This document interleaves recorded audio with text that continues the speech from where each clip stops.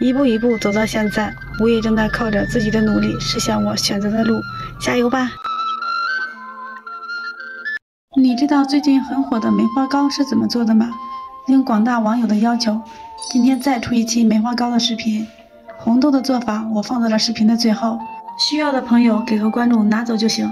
糯米粉、面粉的比例是一比一，三十五度左右的温水放入酵母粉、泡打粉、白砂糖，上下搅动。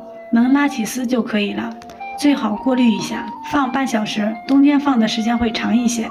模具刷油，预热十五分钟。放黏糊，拿锅摇匀，放入馅料，比如红豆、紫薯、香蕉。最后倒上黏糊封口，要薄。再撒上小丸子、芋圆、玉米、葡萄干、白砂糖、黑芝麻，再盖上盖子，五分钟以后就可以出锅了。最后再嘱咐大家一句：皮一定要薄，馅一定要大。这样才好吃。